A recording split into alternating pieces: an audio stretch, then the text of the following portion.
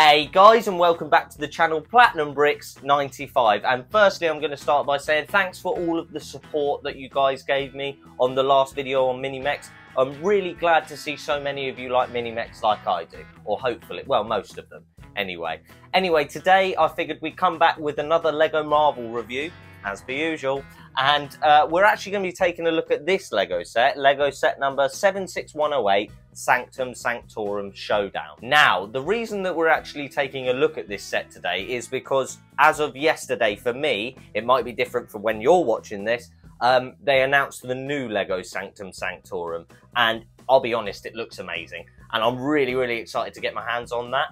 But we're going to be taking a look at the original one today because I'll be honest, I think this is a top 10 Lego set of all time for me. Like, that's how high I rate this set, which is why I'm so excited for the new one. But I figured today we take a look at the old one and see how it holds up. And again, when the new one does come out, I will be reviewing that and I will be doing a comparison video as well. But I think the price points are going to be quite different. Anyway, this set actually, I don't know if you'll be able to see this, but this set did cost me full retail. I bought it like a couple of days after it came out. It's really when I got heavily back into Lego Marvel is when I bought this set. So it's honestly, it's one of my favorites. It really is good. I'm not going to say too much yet because I want to wait for the review, okay? But it is part of the um, Infinity War line, of which I do own all the sets, so I will be reviewing them all as time goes on. I figured I might do a few small ones together, but we'll see how it works out. Anyway, as per usual, you know what I'm going to say. I've talked for way too long. Let's get right into reviewing the set, starting with the minifigures. Alright then guys, here we are taking a look at the minifigs from this set. And I will start by saying that this set does actually come with two exclusive minifigs and one exclusive big fig, which is pretty cool. But we'll start with one of the not exclusive minifigures first, and that's actually going to be Doctor Strange. Now, the cool thing about this Doctor Strange is, well, I don't know if I'd say cool, but the thing about this Doctor Strange is, um, it is exactly the same as the one from his set from his first movie, which I own. The only difference is I think his hairpiece could be different and his cloak is definitely made out of a different material. But I'm not going to complain about that because at the time, this was the second Doctor Strange we'd had from the MCU. So I wasn't really fussed about that, and I do think I actually got this set first anyway. But taking a look at this minifigure, it's a really nice minifigure. Now, you could say for a £90 set, it's a bit disappointing that you only get four minifigures, but I think they are really cool minifigures. I really do. Now, taking a look at the torso, obviously you can see he's got the Eye of Agamotto there. They've nailed his cloak. They really have nailed his sideburns as well, which I really like from his hairpiece.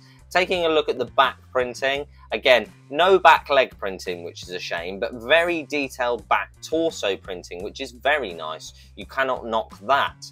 But again, a little bit of printing. Now, again, seamless transition. We've talked about it before, and it's very, very good, and I do like that. I think it's very cool. Now, I'm not sure if he does have two faces, but we'll have a little look. I just don't want to mess his cloak up. He does. He has a sterner look there, which does sort of work, and it does look cool. And his coat, his cloak is something that I'm actually a massive fan of. I do think they look very cool when they have the collar pieces. Um, so on a whole, a very, very nice minifigure, just not exclusive to this set, unfortunately. But almost an update in a way, but really not in terms of the body or the torso or the headpiece, just the accessories, if you like. But anyway, we'll move on to the other minifigure, which isn't exclusive to this set because you do actually get him in the Infinity War Milano set, and that is Iron Man uh, Extremis Armor, I think. Now, I'll start by saying this is probably my favourite Iron Man, like that I own, genuinely. I think it looks amazing. Now, as I said, it does come with the Milano too, and that act that minifigure actually comes with a whole build thing on him, and I'll quickly get it to show you now. So this is the actual build that you get with the Milano set for the Iron Man, and that is probably my favourite version of him here. But as you can see, it's completely the same suit, so it's not exclusive. This is not exclusive, unfortunately. But both very cool. Anyway, I'll put this back and we'll take a look at the minifigure. So, in terms of this Iron Man, he does actually use a two-piece helmet. And again, we are just going to get the complete classic Tony Stark. We've seen it before. We'll see it again. I have no doubt in my mind. What I do like about this helmet is that it comes with blue eyes. Now that was something that hadn't been done before, I don't think, and I think it does look very cool. Obviously, if we take off the accessories here, that you can just see, it's just a very, very nice, seamless, again, Iron Man, he always does it well and there's not too much gold. It's just a very nice minifigure. It looks very nice, which I think is important. And again, on the back, no back leg printing, but front leg printing, which you would expect for such an expensive set with such little amount of uh, minifigures. But on a whole, it is just a gorgeous version of Iron Man, which I actually think, you know, with if you think about how many Iron Men we've had over the years, to be one of the best ones, in my opinion, is no mean feat. So uh, props to this Iron Man Extremis armor. I really do. Get in there. Get in there. Yeah, we got it. We got it. I really do like this minifigure. It's just a shame it's not exclusive. But you can't have everything. Anyway, we're going to move on to probably my favourite of the Children of Thanos and maybe my favourite villain minifigure. Now, the first thing I will say is Ebony Maw's not like blue. Okay, he's grey, and maybe you could have done like a long hair piece, like almost like the minifigure version of Filch from Harry Potter. But I'm not going to complain too much about him not having a hairpiece when his minifigure is just gorgeous. I mean, let's just take a look at how much detail is on this thing and how accurate, apart from the colour of his skin, how accurate uh, this minifigure actually is. I mean, I love this printing on the torso. I love the use of the black here. I really think it makes the other colors pop out, which is very nice. Again, the torso, the back printing on the torso. And ah, okay, I stand corrected. He does actually have hair there, if you can see. That printing is supposed to represent his hair. So I suppose I'll let them off for not giving him a hairpiece. But yeah, as far as the Children of Thanos goes, this is definitely probably my favourite one of them. It, it's a close between it's close between him and Proxima Midnight, who we've already reviewed on the channel anyway. But yeah, Ebony Maw, an amazing minifigure. Now onto the best minifigure of the set, and I, I'm sorry if anyone thinks any different, but you're wrong. This is the best minifigure of this set. This is the Iron Spider, and I will start by saying just take a look at that Spider-Man suit. Let's just drink it in for a minute. Have you finished drinking it in? Good, because it is amazing. Now, obviously, I've completely taken him apart. But yeah, let's just take a minute to appreciate the beauty of that. I mean, the gold just stands out beautifully. I love, look at the arm printing there. It's just impressive. It's perfect. It really is nice. And it's very movie accurate which is very important to me when it comes to MCU sets. I feel like minifigures, at the very least, should be movie accurate. And I do think a lot of the time you can get away with giving them a generic thing, but Spider Man, a full suited, a full costumed hero, has to look good. And he really, really does. And again, leg printing, gold down there, lovely. And again, I, like I always say, there's not too much gold, which is something that I don't like. Now, obviously, he does have the detail on the back of his head as well. And I will take this build off to show you his his back torso printing. But this is obviously meant to represent his, uh, I don't know what you call them, sort of extra legs that come out in the movies, which you've probably seen, you know, like the activate instant kill moment. Activate instant kill! So you can sort of see that that's what they're meant to represent. Anyway, I'm just going to pop his head off and take the actual build off so we can get a look at the back of his torso, which I'll be honest, I don't think I will have seen that since I built him. So let's have a little look, and there we go. I mean, come on, come on, look at this minifigure. Look how accurate it is. Look how, oh, it's just really good. I really am such a huge fan of this Spider-Man minifigure. It might be my favourite Spider-Man suit, but the thing is I tend to say that about all of them, so it doesn't really carry much weight anymore. But I mean, this is just an elite level minifigure in my opinion. So guys, now we've taken a look at the minifigures, I'll quickly show you the big fig and then we'll get right into the build, okay? So guys, this is the big fig from this set. This is obviously Cull Obsidian from the movie Infinity War and Avengers Endgame. And I'll start by saying uh, I'm not too keen on this big fig in terms of accuracy. I think his suit looks good and his torso looks good, but again, I thought he was a it's different colour to this. Maybe they thought they'd make him this colour so it stands out against the dark grey that they've made his torso, but I'm pretty sure his skin's not this colour. But anyway, I will start by saying as well that these hammers and this chain thing round his back, I really do like that. I don't know if you're meant to have the chain behind his back. I think he's meant to have them in front of him like that but I much prefer having it round his back so he can like sort of, it almost becomes a puppet.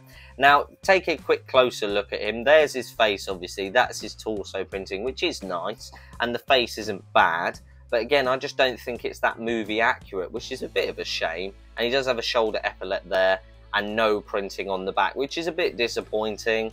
So yeah, this big fig actually, now that I'm I'm thinking about it and I'm actually taking a look at it, it's a bit underwhelming, isn't it? or maybe maybe I'm maybe I'm sort of expecting too much, but it is a bit underwhelming. But on a whole, I'm not really going to complain about it because the build's so good, and that is what we're going to get into now. All right then, guys. Well, this is a look at the actual build, and this is what it is. It's obviously the Sanctum Sanctorum, and then if I just give you a quick spin around, you can see that it's Peter Parker's apartment, and also uh, the pizzeria that he lives above, which is very cool. Now, this does open up and have some top stuff, which I will show you when we go in for a closer look, but I did just want to give you sort of a, a look at what it looks like from the front and a view of what it actually looks like from each side and from the back. And I will open it up before we go in for a closer look so you can sort of get an idea as to what it looks like when it's open. Now, it does only open at a 90 degree, but this is what you do get. This is obviously Peter Parker's apartment on this side and the pizzeria, and this is Doctor Strange Sanctum Sanctorum here. Now, I will say, even though they're probably not right next to each other uh, in the comics or the movie, I will say that I will allow it because I think it looks so cool. And again, if you were using this in a Lego city, like I've seen many people do, and I've seen people build really, really impressive versions of this, then um, props to you because you can actually put it on a street with a road on either side and it will blend in. And I do actually really like that. But I figured what we do now is we take a bit of a closer look at this at this set. Well, I'll take you in for a closer look, but I have just realised that I completely forgot to show you that this is the Infinity Stone that you get with this set.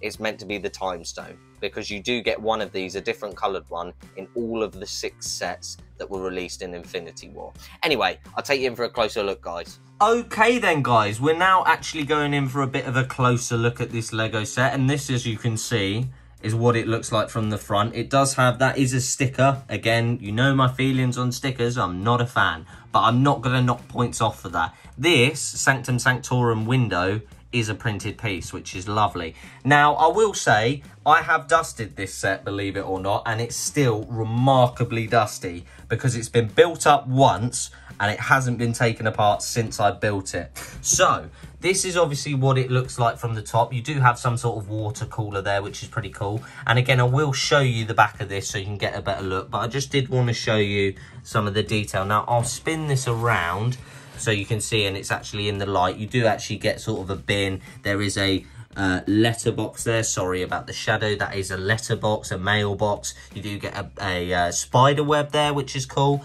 Not too much detailing in the way of this wall but not terrible because it's actually the wall that you uh, that is the back wall, I, I, guess. I guess you could call it a back wall. It's the wall that opens up, so essentially you see you don't really see it. So yeah, anyway, we'll give you a complete spin round and I'll quickly show you. Obviously, this is a very cool play feature, but if you turn this, you do actually see that it starts to lift the string up, which is actually a very cool play feature. Now, you can indeed put a minifigure here. And as you can see, you can pop that. And if he's attached to this, he'll spin and this will spin. I might give you a little bit of a demonstration of that later. But as you can see, that is what the water tower is for. And I think aesthetically it works as well, which is pretty cool. Now, I'll start by saying I'm a big, big fan of these brick pieces here. I think we all like them as Lego builders. Textured bricks are lovely. Obviously, you do have some form of sort of I don't know what you call these. We don't really have this in America. A stairway, ladders and stuff. We don't really have these in England on the side of buildings that often. so I can't really relate to that. But obviously you can see the sign that says Bleecker Street. It is a sticker again and a sticker on the door. And I do think the window's actually a sticker as well, which is, again, bit disappointing but I'm not going to knock points off for stickers because most sets do come with stickers. And as you can see, there's a sticker there and a couple of stickers there, which is very nice. Now, what I do like about a lot of builds that I've seen that are sort of modular, if you like, they do actually come with holes for you to put Technic pieces in to click onto other modular builds, which I actually think is a very cool feature. It allows for you to seamlessly sort of put uh, builds next to each other, which is very nice, and hold them in place. Now, this is pretty cool. I'm not entirely sure what it does. I think, oh, it actually, yeah, I am. So, what that does is when you press that, or I think when you press it, yeah. So you pull it down and the window does actually pop out. Now I'm gonna quickly try and put that back in uh, one-handed whilst I film and talk about this. But again, little play features like that, they really do sort of, they really do sort of bring the build together, I think, personally, which is pretty cool. Um, you know, you do get a lot of that on Marvel sets, like things that pop out and things that sort of fire and shoot. But that's not a bad one. I can't complain at that. I quite like it, to be honest with you. So that is actually meant to be up there like that. Now, taking a quick look inside, I think we'll start with Peter Parker's side. So this is obviously meant to be his bedroom, which is pretty cool. Um, again, you do see the pizza pieces there. A bit of a shame there's no sort of Spider-Man memorabilia there, if you were. I guess there's the web on the thingy, and you can't actually see. I'll try and get an angle that my camera can get in there. Uh, but I don't think I'll be able to, to be honest with you. Uh, but there is actually stickers on that wall. Oh, yeah, you can see them. You can see them here. And it says, stay in school. It's the Captain America one, which is pretty cool. Now, this is just a, uh, again, so if you come round this side, if we come round this side, and we pull this here, it does actually then drop down this piece here. So it, that is a pretty cool play feature if you want Peter Parker to drop down there. Now I've obviously got to put, try and pull it or push it back in with one hand, which is really not going to happen. So I'm going to have to spin it around and do it one-handed. Sorry for the camera work. I'm trying my best to sort of get all the play features in. Um, but down here, you can see it says on there, there's a sticker saying Pete's stuff, which is pretty cool. They're meant to be cardboard boxes. I do like that. And then I suppose this is meant to be his Spider-Man lab, which is very cool. And then you do actually have a tile, a printed tile here. And that is actually a drawing of his first suit, which is pretty cool. And there's obviously a computer there. I can't get you in there, sorry guys. But there you can see this is the pizza shop. And again, I think this, uh, I'm not entirely sure, but I think this window blows out too, to be honest. So we'll get a quick demonstration of that. Again, if you push in here or pull here, or push, or pull, or push. Oh, I think, oh, it does pop out. Okay, it's just a bit, you have to do that a bit firm. That's a bit of a letdown, that one. It's not as, uh, as, uh, what would you say the word is? Uh, forceful or violent? We'll go with forceful because uh, it's more PG. Uh, a bit a bit less forceful than the one we saw earlier. But in terms of an interior pizza shop, just using a small space, I don't think he could have done much more really. Also, there you go. I found the angle that worked to look at the sticker. Now, down here in the pizzeria, it is very accurate. It's very good. I love that pizza oven. I love the little cashier. I love the pizza. And I love the addition of the menu there. I do think it's very cool. So again, some very cool play features on that side. And in terms of the bedroom's a bit of a letdown. Now, that is a play feature, so I'm not going to take marks off for that. That's a bit of a, I suppose if, if you're meant to land there and there's still stuff there, not terrible. And a very good representation of his lab and a very good pizzeria. But we are actually now going to move on to this side, the Sanctum Sanctorum. And I think this time we'll actually start at the bottom. Now, we've got a very cool armchair build, which I have used before, not just in this set. And it is a very cool colour, the dark green piece. It looks more turquoise on my camera, but trust me, it's dark green, okay, guys? And again, it's not the most impressive thing inside this uh, build, if you like, inside that first floor, but it is just meant to be an ancient sort of, it's sort of meant to be the entranceway, so you can't complain. And again, you can see a sticker there. Now, I want to turn this round so it's more in the light. And as you can see, I'm assuming this is meant to be a sort of study here. Now, as you can see, printed tile, that is a sticker on the wall. It shows the ancient one, what I think is a radio, and also uh, Saint oh, that's meant to be a wall open, a portal opening up. Now, I do like that a lot. Now, again, I'm not sure if this is meant to be a play feature. I don't think it is. It doesn't seem to do anything. So I'm not, oh, I suppose it holds that up. It holds this up. It holds that up when it's closed. That's pretty cool. I like that.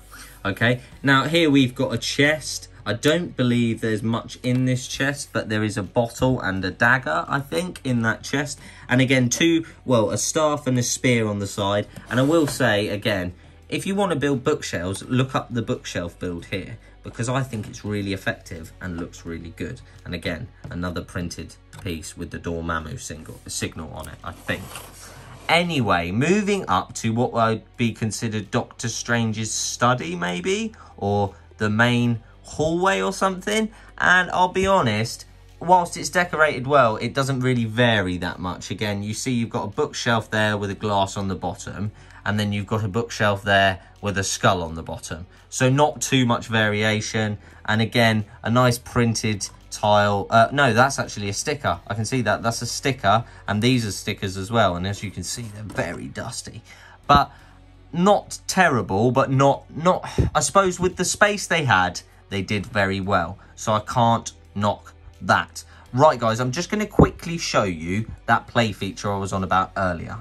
Right, so I decided to use uh, a 20th anniversary Lando Calrissian for this, mainly because he's my favourite. No, he's not. He was just the nearest one to hand. I'm not going to lie. But here we go. We'll get a little example of what I was on about. Bang! See, so he does actually drop down there, which was rather underwhelming, wasn't it, really? But again, you can see someone could sort of be hanging like that, and you can sort of turn this nozzle up here, and they will slowly start to raise up, which I actually think is a pretty cool play feature, guys. All right then, guys. Well, that was my review and in-depth look at this Lego set. And uh, we'll get into the rating and review, or overall review, in the outro, which is coming now. All right then, guys. Well, that was my review for Lego set number 76108 Sanctum Sanctorum Showdown. I hope you enjoyed. I hope I gave you an idea as to why I love this set so much because the accuracy, which is not something that I've actually mentioned that much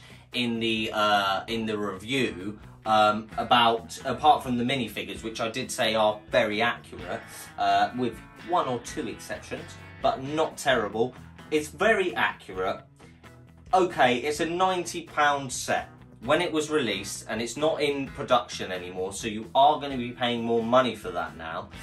But it for a £90 set, the main takeaway or the main negative is that you do only get four minifigures, which for some people is a real kicker. Now it is for me too when it comes to certain things. If you look at the Domo that came out, the Eternals set, that actually had six minifigures in it, which is really good for 80, uh, I think it was a £90 set, it was either 90 or 80. But that's a lot more than you get here. However, I think that the quality of the minifigures cannot be understated, and I really do think that makes up for the fact that you only get four of them. And again, you do get a big fig, even if it's not the greatest big fig. But the accuracy of this set is very good. The playability of this set is very good. The design and look and aesthetic of this set is very good. The sort of, again, the amount of people I've seen customize this set and make a bigger version of it means there's endless scope for customization, which is something that's very important to some people. All right, it's not to me. I like to keep my sets built up and nice. Do you know what I mean? I like them the way they're meant to be. I'm very OCD like that. But I can see why people would like to customize them. With this being the second Infinity War uh, set that I've already reviewed, I didn't actually give a number to the set I reviewed before, which was the Hulkbuster, but I'm to give this set a very, very biased 10 out of 10. Alright guys, a very biased 10 out of 10, okay? Realistically, it's a 9 out of 10. But for me, it's a 10 out of 10 because it's one of the first big sets I bought when I got back into Lego collecting, uh, Lego Marvel collecting more specifically. And I just think aesthetically it's really good. And I cannot wait and I mean this I cannot wait for the new Sanctum Sanctorum. You will be seeing a comparison video. You will be seeing a review of that.